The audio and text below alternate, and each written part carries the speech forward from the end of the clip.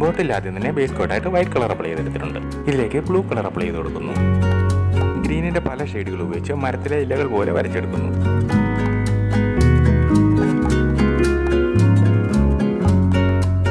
അത് കംപ്ലീറ്റ് ആയിട്ടുണ്ട്. ചെറിയൊരു ചുള്ളി കമ്പിയിലേക്ക് ഫിക്സ് ചെയ്ത് വെക്കുന്നു. ഓവൽ ഷേപ്പിലുള്ള രണ്ട് ചെറിയ പരന്ന കല്ലുകൾ എടുത്തിട്ടുണ്ട്. ഇവയിലേക്ക് ആദ്യം വൈറ്റ് കളർ അപ്ലൈ ചെയ്ത് കൊടുക്കുന്നു. രണ്ട് കല്ലുകളിലും ഓരോ കിളികളെ വീതം വരച്ചെടുക്കണം.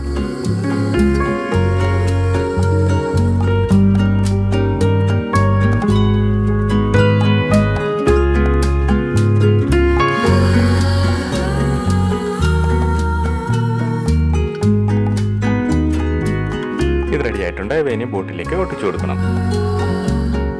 അങ്ങനെ വളരെ സിമ്പിൾ ആയിട്ട് ഒരു അടിപൊളി ബോട്ടിൽ ക്രാഫ്റ്റ് ഇവിടെ റെഡി ആയിരിക്കുന്നു.